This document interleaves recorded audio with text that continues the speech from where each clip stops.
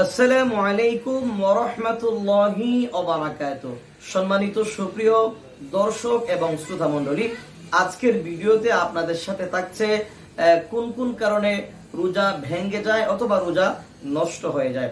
সম্মানিত সুপ্রিয় দর্শক এবং শ্রোতা মণ্ডলী আগে আমাকে আপনাকে জানতে হবে রোজা কাকে বলে। শরীয়তের পরিভাষায় সুবেহ সাদেক থেকে শুরু করে সূর্য অস্ত যাওয়া পর্যন্ত কোনো কিছু আহার করা বা কোনো খাবার গ্রহণ করা অথবা স্ত্রী সহবাস করা থেকে বিরত তাকাই হচ্ছে রোজা।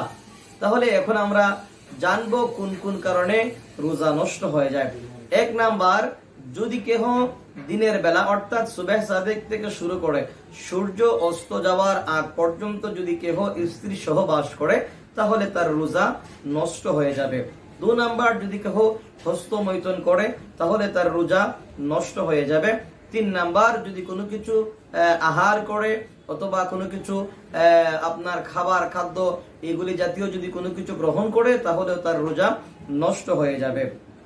চার নাম্বার আপনার খাবারের স্থলা বেশিত্ব অনেক সময় দেখা যায় যে আপনার মুখের ভিতরে খাবার রয়ে গেছে এগুলি আপনার খিলাইল করে এগুলি খিলাইল করার পরে আবার দেখা যায় খেয়ে ফেলে। যদি এটা একটা ছোট্ট একটা ছানা বুটের সম পরিমাণ হয়, তাহলে তার রোজা নষ্ট হয়ে যাবে। পাঁচ নাম্বার, যদি সিঙ্গা লাগায়, অথবা এই জাতীয় যদি কোনো কিছু প্রবেশ করায় বা ব্যবহার করে, যদি শরীর থেকে রক্ত বের হয়, তাহলে তার মাধ্যমে তার রোজা নষ্ট হয়ে যাবে। ছয় নাম্বার, যদি ইচ্ছাকৃত কেহ বমি করে, এবং সেটা যদি বেশি পরিমাণ হয়, অর্থাৎ মুখ পড়ে হয়, তাহলে তার রোজা নষ্ট হয়ে যাবে। সাত নাম্বার, মহিলাদের যদি হায়েজ অথবা নেফাজ শুরু হয়ে যায়, এমতো অবস্থায় রোজা নষ্ট হয়ে যাবে। আল্লাহ তালা যেন আমাদেরকে এইগুলির প্রতি যেন বুঝা এবং মানার যেন তৌফিক দান করুন। সকলে বলি আমিন।